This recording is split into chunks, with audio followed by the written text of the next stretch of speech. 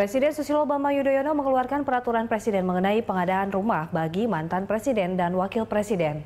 Peraturan itu dibuat agar mantan presiden dan wakil presiden memiliki rumah yang layak untuk ditinggali. Seperti apakah kriteria rumah yang diperuntukkan bagi mantan presiden dan wakil presiden?